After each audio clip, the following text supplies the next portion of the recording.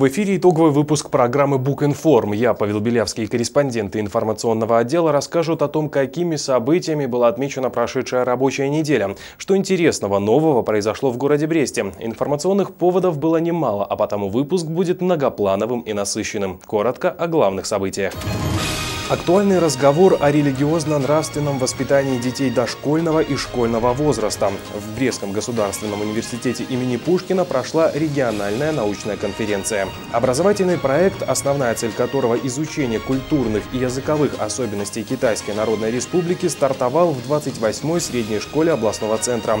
В учебном заведении был торжественно открыт кабинет Конфуция. 222 участника из 12 белорусских университетов и 12 высших учебных заведений заведений России доказали, что спорт – это не только жажда победы любой ценой и сладкий миг восхождения на пьедестал. В течение пяти дней в городе над Бугом проходила спартакиада студенческой молодежи союзного государства. Об этом и не только прямо сейчас. В Бресте пройден первый этап кампании по выборам депутатов местных советов 28-го созыва, которые пройдут 18 февраля 2018 года. На текущей неделе завершилось выдвижение представителей в состав городского избирательного комитета. В их состав, как правило, входят представители политических партий, общественных объединений, члены трудовых коллективов, а также граждане. Утверждение состава Брестской городской избирательной комиссии стало главной темой совместного заседания Брестского горисполкома и Президиума Брестского городского совета депутатов. На повестке дня образование избирательной комиссии по выборам депутатов Брестского городского совета депутатов 28-го созыва. Основная задача комиссии – подготовить избирательный процесс в строгом соответствии с требованиями избирательного законодательства. Проведение выборов в местные советы в городе Бресте. Это будет координационная комиссия в рамках всего города. Комиссия рассмотрела 20 кандидатур, из которых были выбраны 13. Среди них представители общественных организаций Белорусский союз женщин, Союз офицеров и Белорусского республиканского союза молодежи, ветеранской организации. Делегировали своих представителей Брестское городское ЖКХ, поликлиника номер 6, территориальный центр социального обслуживания населения Ленинского района и профсоюз работников образования и науки. Еще четыре кандидата представят в избирательной комиссии городскую общественность. Выдвижение кандидатов в депутаты начнется 10 декабря. Вы смотрите итоги недели на Бук ТВ. Продолжаем говорить о важном и актуальном. 9 октября 2017 года президент Беларуси Александр Лукашенко подписал указ номер 364 об осуществлении физическими лицами ремесленной деятельности, который входит в пакет документов, направленных на развитие предпринимательства и стимулирование деловой активности. Данный законодательный акт максимально расширяет перечень видов ремесленной деятельности, которые граждане вправе осуществлять по заявительному принципу, без государственной регистрации в качестве индивидуальных предпринимателей. С подробностями Лариса Осмолович. В Беларуси продолжают создавать благоприятные условия для осуществления и развития ремесленной деятельности. 364 указ – еще одно тому подтверждение. Этот документ ждали, и вышел он весьма вовремя. Благодаря ему снимаются ограничения по наименованиям предметов, изготавливаемых по многим видам ремесленной деятельности. В список этот включены все виды творчества, осуществляемые на основе ручного труда. Данное законодательное новшество уже оценили ремесленники. Просто замечательный указ. И разработчики этого указа действительно постарались и создали такой документ, который позволяет теперь ремесленникам работать без совершенно э, проблем, которые существовали раньше. В указе практически прописано все. А самая главная строчка указа – это последние три слова, которые говорят о том, что теперь ремесленникам можно делать все, что не запрещено законом. А почитать о том, что нельзя делать ремесленникам, можно в следующем указе президента. Это 337 указ о самозанятости. Вот то, что можно делать самозанятости, оплачивая единый налог, то нельзя делать ремесленникам. Поэтому очень удачный, очень хороший указ. Сегодня в Беларуси зарегистрировано порядка 23,5 тысяч ремесленников. Министр экономики Владимир Зиновский уверен, что с принятием указа эта цифра может увеличиться вдвое. Уверены в этом и в московской администрации Бреста, где зарегистрировано около 1200 ремесленников. После принятия документа уже чувствуется ажиотаж. Приходят, интересуются всеми нюансами. Людей устраивает прежде всего легкое оформление по заявительному принципу без государственной регистрации в качестве индивидуального предпринимателя. Для того, чтобы физлицам заниматься ремесленной деятельностью, не нарушая закон, необходимо, во-первых, стать на учет в налоговом органе, оплатить ремесленный сбор и оформить в установленном порядке книжку учета проверок. Ставка ремесленного сбора составляет одна базовая величина в год. При этом ставка не меняется в течение года и не увеличивается в зависимости от того, вы применяете, вернее осуществляете один вид ремесленной деятельности или несколько. Впервые зарегистрированным ремесленникам ставку необходимо будет оплатить до начала осуществления деятельности последующем можно оплачивать ставку не позднее 28 декабря текущего года. Например, уплата сбора за 2018 год должна быть произведена не позднее 28 декабря года текущего. Размеры его составляет одну базовую величину – 23 белорусских рубля в год. И это при том, что можно осуществлять не один, а несколько видов ремесленной деятельности. Вернемся в волшебную лавку ремесленников, расположенную в Бресте на улице Островского. Представленные здесь работы работы поистине великолепны. Приобрести подарок Новому году, к Рождеству можно на любой вкус и кошелек, а главное, он будет в единственном экземпляре. Руководители организации думают наперед и уже осуществили ряд шагов, которые поспособствуют наряду с указом развитию. Одним ремесленникам тяжело э, справиться с теми проблемами, которые существуют в ремесленной деятельности. Поэтому буквально месяц назад мы создали новый союз, в котором ходят ремесленники, работодатели и предприниматели. И вот такое вот объединение усилий, наверное, даст положительные результаты и скажется на, и на экономических каких-то показателях нашей страны, и, наверное, поможет ремесленникам э, в том, чтобы создавать какие-то новые, э, красивые и оригинальные поделки. Реализовывать свои изделия ремесленники имеют право в строго установленных местах торговых, на рынках, на ярмарках, а также путем заключения гражданско-правовых договоров с индивидуальными предпринимателями и с юридическими лицами. Указ номер 364 принят в целях дальнейшего развития народных промыслов, а также вовлечения трудоспособного населения в экономическую деятельность посредством создания дополнительных условий для самозанятости. Акцентируем, документом предусмотрено расширение перечня видов ремесленной деятельности и перечня материалов, снято ограничение по технике при декорировании предметов и еще. Основным нововведением указа является то, что ремесленникам предоставляется право торговли не только на рынках и ярмарках, но также в своих мастерских путем почтовых переводов по почте, а также путем размещения рекламы в сети интернет. Лариса Осмолович, Андрей Щерба, Дмитрий Лазарчук, телекомпания Бук-ТВ. О религиозно-нравственном воспитании детей дошкольного и школьного возраста говорили накануне в Брестском государственном университете имени Пушкина. Тему обсуждали в рамках региональной научной конференции. С докладами выступили порядка 40 человек, в их числе представители православной церкви, преподаватели и студенты белорусских университетов, специалисты в области психологии и истории, а также иностранные гости. Подробности в следующем материале выпуска. Воспитание ребенка – процесс тонкой настройки, требующий от ближайшего окружения, будь то родители или учебное заведение, подготовки, собранности и ответственного подхода. Особенно сегодня, в период, когда, по мнению многих, размыты грани даже основополагающих понятий – добра и зла.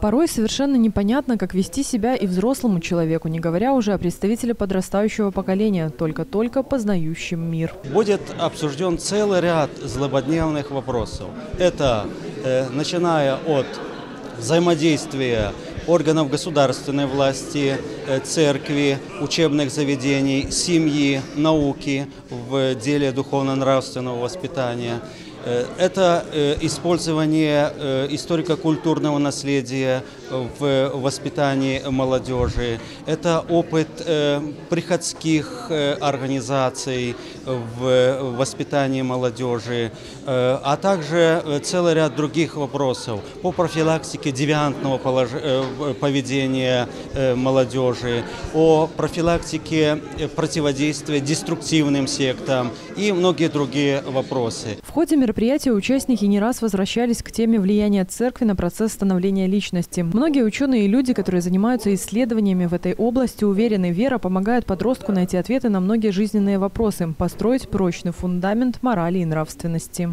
К сожалению, нравственность падает. То, что вчера было нельзя, сегодня обворачивается красивую обложку и преподносится как некое благо. Но на самом деле оно вредит человеку.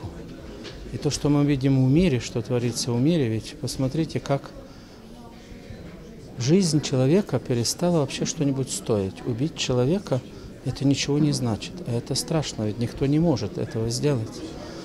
Ну и другие все вопросы. Вопросы семейные, отношения в семье, отношения к родителям, отношение к детям, отношение к родине, отношение к своему. Это все требует, чтобы все мы напомнили, и церковь, и государственные власти напомнили – людям их предназначение здесь на Земле. Неокульты, или как их называют чаще, секты, также оказались в центре внимания участников. Растущий, неокрепший организм особенно подвержен влиянию извне, как физическому, так и моральному. Именно поэтому подростки наравне с людьми, которые попали в сложную жизненную ситуацию, входят в особую группу риска. Представителям деструктивных организаций оказать на них влияние очень просто. Это наибольшую опасность представляет для молодежи и для э, социально уязвимых групп первую очередь одиноких людей. Вот бывает ситуация, одинокий человек, ему, у него нет родственников, у него практически нет друзей. Я встречал людей, у которых в сотовом телефоне в записной книжке три номера. Мама и еще какие-то два человека. И когда на это смотришь, понимаешь, что действительно человек очень одинок. А тут оказываются люди, которые говорят ему, брат, приходи к нам, окружают его вниманием, окружают его заботой. И он уже даже не задумывается о той идеологической или теоретической, духовной составляющей, которую несет в себе эта организация.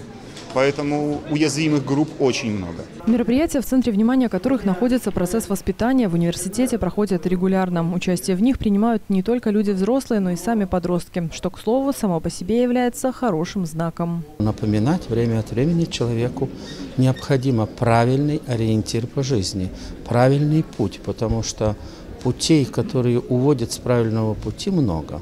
И чтобы никто не заблудился, чтобы по этому пути люди шли, вот мы сегодня собрались для того, чтобы напомнить всем нам, как правильно жить. Я думаю, что э, вот этот заинтересованный разговор должен послужить э, как раз э, э, толчком к нашему э, сотрудничеству, к использованию наших э, знаний, нашего опыта в э, воспитании э, подрастающего поколения. Анастасия Стропко, Эдуард Бакунович, Дмитрий Лазарчук. Специально для итоговой программы.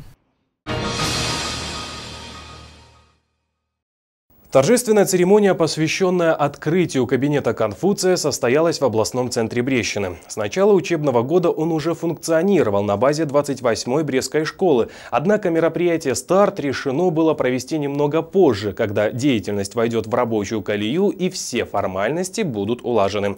Накануне праздник состоялся. Тему продолжит Анастасия Стропко.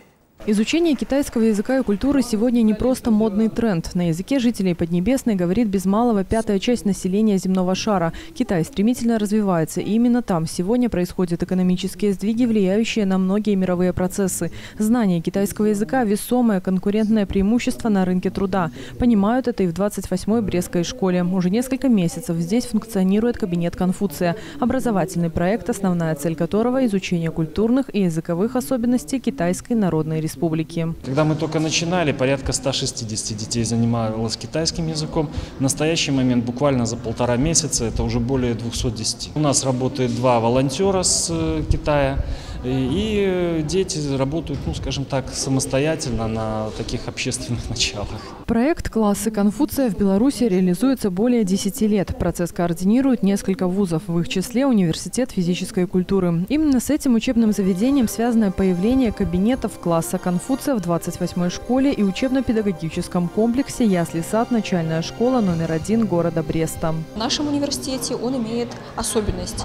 А, помимо того, что мы знакомим всех белорусов с китайским языком и с китайской культурой, а, мы также заинтересованы в том, чтобы белорусы вели здоровый образ жизни, а, поэтому мы знакомим их э, с традиционными китайскими техниками ушу, тайцзуань, а, искусство чайной церемонии.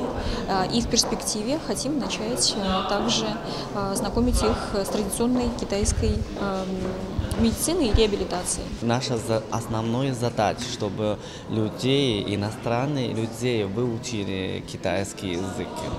А сейчас хорошее время именно всех мире учить китайский язык. Э, и еще для нас э, э, хорошее время, моменты именно Беларусь и Китай сейчас находятся на самое лучшее время друг друга дружбы. И в это время приехал в Беларусь, работа я, конечно, очень рада. И Э, чувствую себя очень счастливой. К слову, погрузиться на некоторое время в атмосферу китайского праздника учащиеся и гости 28-й школы смогли уже в рамках церемонии открытия кабинета Конфуция. Несколько необычных для белорусского зрителя сценических номеров придали официальному мероприятию ярких красок, сделали его незабываемым. Анастасия Стропко, Андрей Щерба, Дмитрий Лазарчук специально для итоговой программы. Спорт – это не только жажда победы любой ценой и сладкий миг восхождения на пьедестал. Соревнования – хорошая возможность значительно расширить свой кругозор и найти новых друзей. Пять дней город над Бугом принимал спартакиаду студенческой молодежи союзного государства. В Брест приехали 222 участника из 12 белорусских университетов и 12 высших учебных заведений России. Молодых атлетов принимали на лучших спортивных сооружениях города. Соревновались участники в трех видах – плавании, мини-футболе и волейболе. Наш корреспондент Ирина Альшова пообщалась со спортсменами и тренерами Беларуси и России. Спорткомплекс «Олимп» стал центром притяжения волейбольных амбиций российских и белорусских студентов. Игровиков разделили на две подгруппы, в которых они играли по круговой системе. Сильнейшие команды из двух стран настраивались на победу, выигрывали не только опытом, но и психологией. Уровень соревнований ну, достаточно неплохой, и соперники тоже, в принципе, неплохие. Мы ожидали, что, честно, будет команда немножко послабее, но Беларусь достойно, достойно представлена, вот, скажем так. Нешуточные страсти разгорелись и на соревнованиях по мини-футболу. Спорткомплекс «Виктория» стал ареной для битвы опытных студенческих команд двух стран. За плечами у каждой немалый опыт участия в международных турнирах. Турнир очень удивил нас тем, что уровень очень высокий, особенно уровень белорусских команд. И так не только в мини-футболе, в плавании, в волейболе турнир белорусских, э, белорусских команд показали очень высокие результаты. Студенты участвуют, э, получают практику игровую. Встречаемся с э, россиянами, что тоже очень интересно. Потому что своих мы знаем, мы со своими встречаемся периодически. С россиянами тоже интересно получить международный опыт. Хороший опыт получили спортсмены двух стран и на дорожках Дворца водных видов спорта. В плавании медали разыгрывались в личном и командном зачете. Среди участников заплывов – кандидаты и мастера спорта. Для одних это дополнительная соревновательная практика, для других – новый опыт и дебют на международных стартах. Международные соревнования, конечно, я впервые на этих. И это ну, очень большой опыт, познакомиться с другими спортсменами из других стран, общение, узнать, узнать много нового. Как тренируются спортсмены здесь, как отличается их уровень подготовки, тренировки, а также стартов это довольно хороший опыт. Тяжело, э, можно сказать, не было, потому что э, соревнования проходят такого масштаба довольно-таки часто, но то, что принимают э, нас в Беларуси, это впервые и очень интересный опыт. И для нас, мне кажется, для Беларуси. 24 команды стали участниками яркого и красочного закрытия спартакиады студенческой молодежи союзного государства. Соревнования прошли на высоком уровне и получили высокую оценку как со стороны участников, так и организаторов. Главная задача – сплочение народов через молодежь и спорт достигнута. Спартакиада проводится в четыре этапа, то есть два этапа проходят на территории Российской Федерации, два этапа проходят на территории Республики Беларусь. Ну и, конечно же, это пропаганда ну, идеалов и олимпизма, и в то же время э, обмен опытом, дружба вот, между университетами. Уровень команд был достаточно интересным, и финальные соревнования по мини-футболу вызвали такую серьезную борьбу, и э, это говорит о том, что, наверное, проведение таких мероприятий, оно должно быть, и их нужно проводить для того, чтобы ребята встречались и имели возможность лишний раз э, встретиться и доказать, кто же все-таки сильнейший на площадке. Спортсмены из белорусских и российских вузов по очереди поднимались на пьедестал почета. Большую часть призовых мест завоевали представители Синеокой. Дома, как говорится, и стены помогают. Ехали за первым местом, немножко не повезло в финале. Я считаю, что результат закономерен. Что хотели, то и получили. Я считаю, что это очень важно, как бы, ну, во-первых, потому что идет сплочение народов, как бы мы братья, русские и белорусы. Я считаю, что их нужно проводить ежегодно и как можно часто привлекать очень много университетов. Я считаю, что будет все здорово, и мы будем дальше так проводить соревнования, будет все здорово. Соперники на площадке, а вне игры хорошие друзья. Спортсмены из Российской Федерации вместе с памятными сувенирами и медалями увезут из Бреста не только массу впечатлений и приятные воспоминания о нашей стране, но и важный спортивный опыт. Это интересная борьба, новый замечательный опыт, который мы получили. Мы на, на этих соревнованиях родилась у нас новая команда, обновленная, очень, я считаю, очень сильная.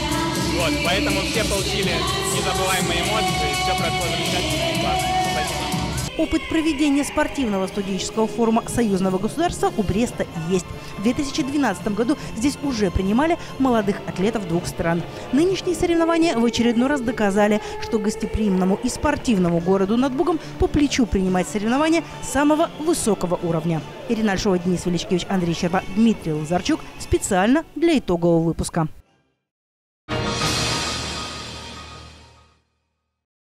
Заметили ли вы, что Брест уже готовится к встрече Нового года и Рождества?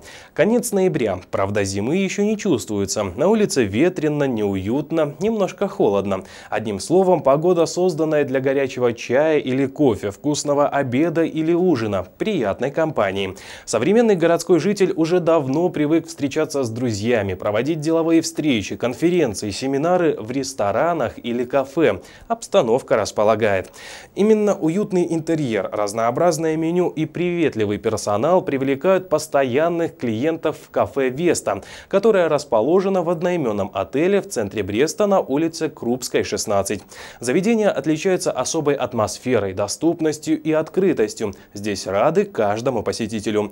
На днях в кафе прошла дегустация авторской кухни от шеф-повара. Исследовать изыски меню и услышать впечатления посетителей в Весту отправились и наши корреспонденты.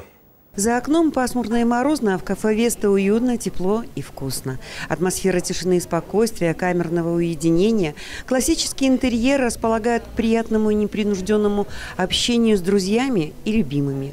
Администраторы и официанты сделают все возможное для того, чтобы вы почувствовали себя комфортно. Они готовы помочь с выбором блюд, подбором напитков. Разнообразное меню, уютный зал и приветливый персонал – основа любого хорошего кафе.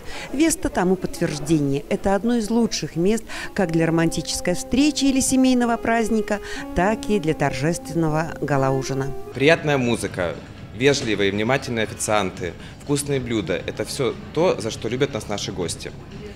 Кафе начинает работу с 7.30 утра. Мы всегда рады предложить на завтрак шведский стол, по будням в обеденное время ланч-меню, а для своих маленьких посетителей детское меню. Если же вы желаете заказать банкет в нашем заведении, для этого вам только нужно определиться с датой мероприятия и согласовать с нами само меню. Все остальное мы сделаем сами. Опыт работы нашей команды гарантирует проведение вашего мероприятия любого на высшем уровне, будь то свадьба, юбилей, фуршет, корпоративная вечеринка. Для небольших компаний мы предлагаем банкетный зал вместимостью до 15 человек. Общий зал позволяет разместить 50 персон.